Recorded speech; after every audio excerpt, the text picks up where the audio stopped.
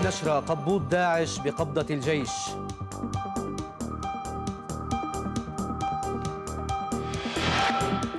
بدء إجلاء المسلحين والمدنيين من داري المحاصرة تنفيذا لاتفاق مع الجيش السوري.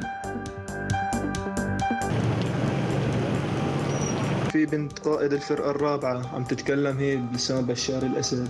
اتفقوا إنه يطلعوا المدني بكرة ونحن نطلع بعد بكرة. وقالت لنا انه هاي آخر مرة بفوضونا فيها.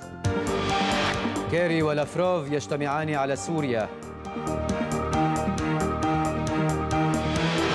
لعنات باسيل بالثلاثة.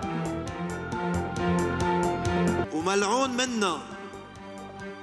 كل واحد بيحاول يقتلعنا من الحكومة بعقد جلسات غير نسائية لإلها.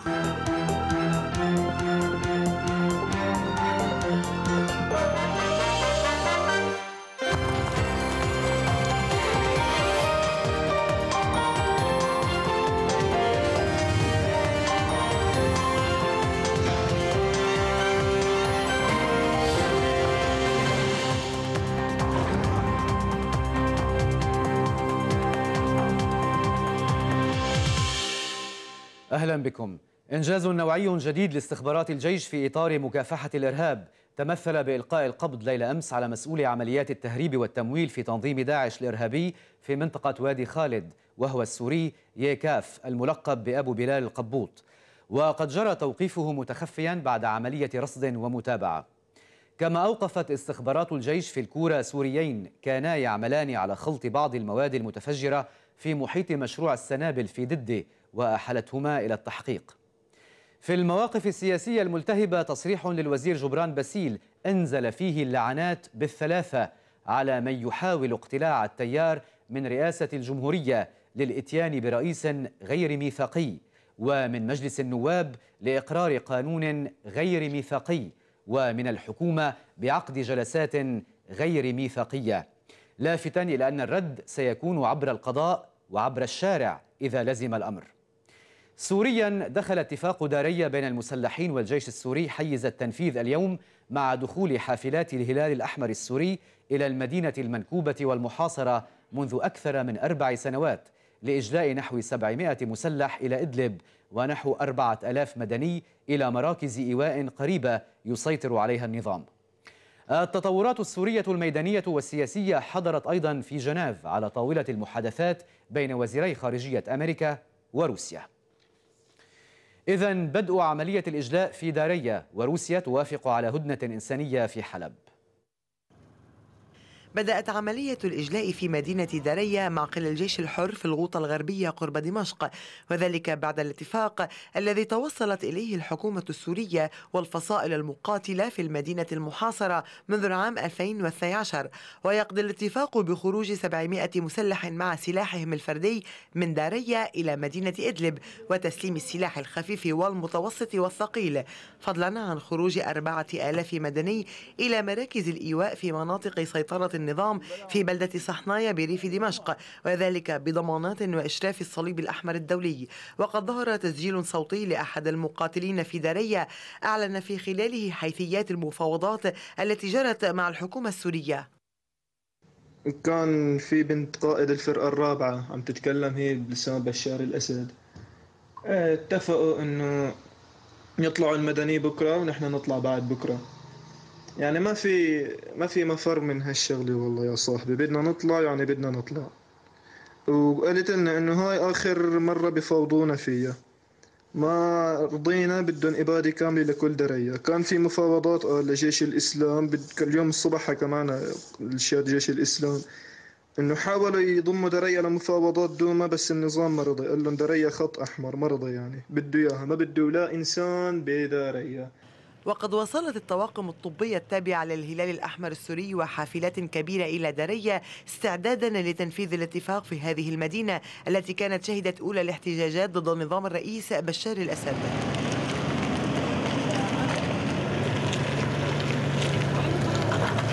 ويأتي اتفاق دارية في الوقت الذي وافقت فيه روسيا على هدنة إنسانية لمدة 48 ساعة في مدينة حلب السورية المقسمة للسماح بتوزيع المساعدات فيما تنتظر الأمم المتحدة ضمانات أمنية من الأطراف الأخرى التي تقاتل على الأرض.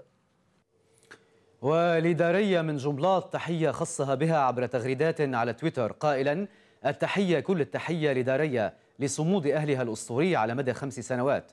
التحية كل التحية لتنسيقية دارية المثالية لمجلس وطني ثوري حقيقي للشعب السوري المناضل.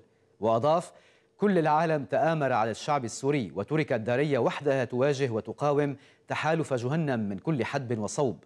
الكلمات تعجز عن وصف هذا الصمود الأسطوري. قالها أحدهم باق وأعمار الطغاة قصار. واعتبر جملات أن داري اليوم هي الساحة الحمراء للشعوب المقهورة. أما الساحات الأخرى فهي ساحات الاستبداد والقهر.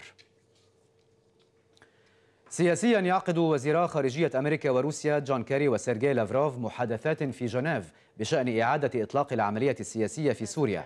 ويبحث لقاء لافروف كيري في إزالة العقبات من طريق تنفيذ الخطة الأممية للتوصل إلى هدنة أسبوعية مدة 48 ساعة إضافة إلى تطوير التنسيق في القتال ضد الجماعات الإرهابية في سوريا. وكان لافروف قد شدد قبيل وصوله جنيف على ضرورة أن يفي الأمريكيون بوعدهم بالعمل على فصل المجموعات التي يدعمونها عن جبهة النصرة. في تركيا قتل ثمانية من قوات الشرطة وجرح 45 على الأقل في تفجير بسيارة مفخخة استهدف مقرا لقوات التدخل السريع التابعة للشرطة في ناحية جيزرة من محافظة شيرناق الواقعة جنوب شرقي البلاد على الحدود مع سوريا والعراق. وطوقت قوات الأمن التركية موقع الانفجار وبدأت حملة تفتيش واسعة بحثا عن منفذي الهجوم الذي أدى إلى تدمير المقر العام لقوات مكافحة الشغب وتحطم نوافذ العديد من المنازل والمحلات التجارية المحيطة. وذكرت وكالة الأنادول أن المعلومات الأولية تشير إلى ضلوع حزب العمال الكردستاني في التفجير الذي يأتي بعد يومين على بدء القوات التركية حملة غير مسبوقة في سوريا تستهدف تنظيم داعش وقوات حزب الاتحاد الديمقراطي الكردي في سوريا. محليا وزير الخارجية والمغتربين جبران باسيل يلعن كل من يحاول اقتلاع التيار الوطني من المؤسسات الدستورية. ويقول في خلال حفل عشاء لقطاع الانتشار في التيار لا مرسوم سيصدر عن الحكومة من دون موافقتنا. ملعون من الله كل من يحاول اقتلاعنا من هيدي الأرض. وملعون منا كل واحد بيحاول يقتلعنا من رئاسة الجمهورية ليجيب رئيس غير مسائي. وملعون منا كل واحد بيحاول يقتلعنا من مجلس النواب لأنه عم يعمل قانون غير مسائي وملعون منا. كل واحد بيحاول يقتلعنا من الحكومة بعقد جلسات غير مسائية لإلها. ومطعون فيها للحكومة وبقراراتها بإصدار أي قرار غير مسائي وهيدا الطعن نحن بدنا نمارسه بحقنا. بدنا نمارسه أول شيء بالمؤسسات وبدنا نمارسه تاني شيء بالقضاء. لأنه ما بيطلع ولا مرسوم ما في موافقة لنا عليه ومنه موقع منا. وهيدا الطعن إذا لزم الأمر بدنا نمارسه بالشارع. رفع وزير المالية علي حسن خليل صباح اليوم إلى مجلس الوزراء مشروع قانون الموازنة العامة والموازنات الملحقة للعام 2017 وأمل خليل من مقام المجلس أن يصار إلى درسه وإقراره وإحالته إلى المجلس النيابي وفق الأصول.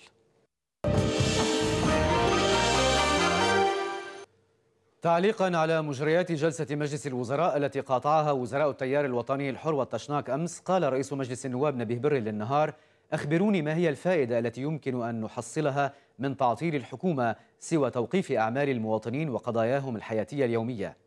ووصف الحكومة واستمرارها بأنهما القشرة الأخيرة لوجه الدولة. أوضح الوزير محمد فنيش لصحيفة الجمهورية أن حضور حزب الله في جلسة الحكومة أمس هدفه إظهار حرصه على عدم تعطيل الحكومة وفي الوقت نفسه من أجل إقناع مجلس الوزراء بألا يذهب نتيجة تداعيات الأزمة القائمة ومن ثم مقاطعة الوزراء إلى مزيد من التصعيد والتأزيم. متطوعو الدفاع المدني ينهون اعتصامهم عند الحدود مع فلسطين المحتلة وحفنة تراب إلى الشهيد. وعود الرئيس نبيه بري لمتطوعي الدفاع المدني. أسفرت فك اعتصامهم في سهل مرجعيون قبالة مستعمرة المطلة عند الحدود اللبنانية الفلسطينية وإزالة خيامهم إلى حين البت في قضيتهم. تشرفنا بلقاء دولة الرئيس الأستاذ نبيه بري اللي اتصل بسعادة المدير العام العميد رمون خطار اللي نحن ملء الثقة بخطواته.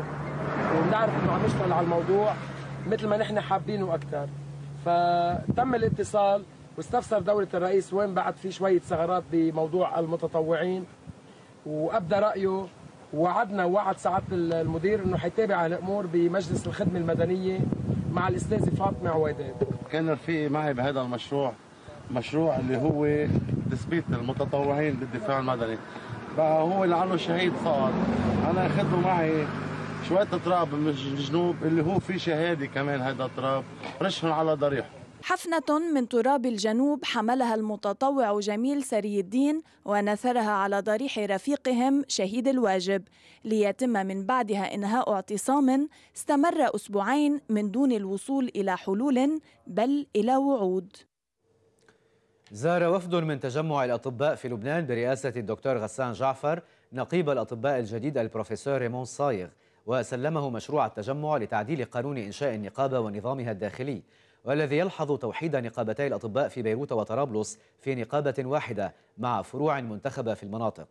وقد أبدى النقيب تأييده طرح التجمع الوحدوي وزيادة المعاش التقاعدي إلى ألف دولار وفصل الجمعية العامة الانتخابية عن الجمعية المخصصة لنشاطات النقابة. وأشار الصايغ إلى أن مجلس النقابة يعكف على إيجاد الحل القانوني لموضوع براءة الذمة المالية للعام الماضي التي لم تقرها الجمعية وللعام الأسبق المطعون بها من قبل التجمع.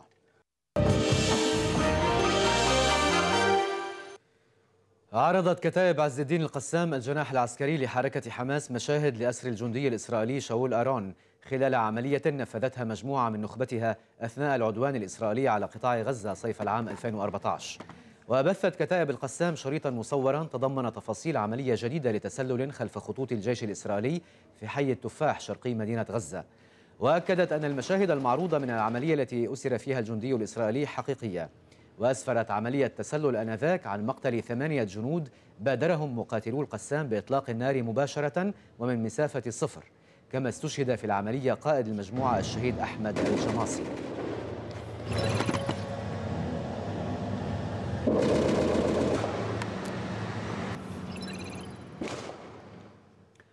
قضى نائب وزير داخلية بوليفيا رودولفو إيلانيس بعد تعرضه للضرب على يد عمال المناجم المضربين عن العمل.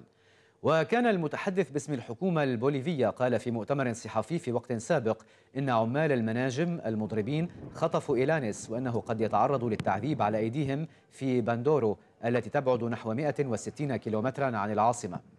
وتحولت احتجاجات عمال المناجم المطالبين بتعديل قوانين التعدين في بوليفيا إلى أعمال عنف هذا الأسبوع بعد إغلاق طريق سريع وقتل عاملين الأربعاء الماضي برصاص الشرطة.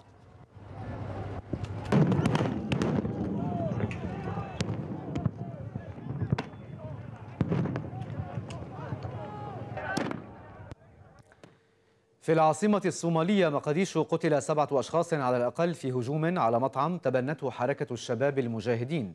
وذكرت مصادر في الشرطة أن الهجوم بدأ مساء الخميس بتفجير سيارة ملغمة في محيط مطعم وفندق بنادر المطل على شاطئ ليدو. ثم اقتحم مسلحون مبنى المطعم وتحصنوا فيه. وطوقت قوات الأمن الصومالية المبنى واشتبكت مع المسلحين على مدى ساعات. ولاحقا أكد مسؤول في شرطة المدينة لوكالة الأنباء الصومالية أن حصيلة القتلى هي خمسة مدنيين ورجلا أمن. في بلجيكا قتل شخص وجرح أربعة آخرون في انفجار وقع بمركز الألعاب الرياضية في بلدة شيماي جنوب البلاد. ورجح مسؤول في مركز إدارة الأزمات في بلجيكا أن الانفجار ناجم عن تسرب للغاز ولا توجد دلائل على أنه هجوم إرهابي. كان في النشرة قبوض داعش بقبضة الجيش.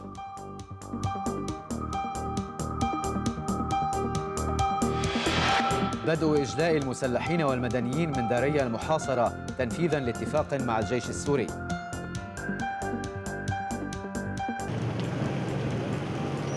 في بنت قائد الفرقة الرابعة عم تتكلم هي بلسان بشار الأسد. اتفقوا إنه يطلعوا المدني بكرة ونحن نطلع بعد بكرة. وقالت لنا إنه هاي آخر مرة بفوضونا فيها. كيري ولافروف يجتمعان على سوريا. لعنات باسيل بالثلاثة. وملعون منا. كل واحد بيحاول يقتلعنا من الحكومة بعقد جلسات غير نسائية لإلها.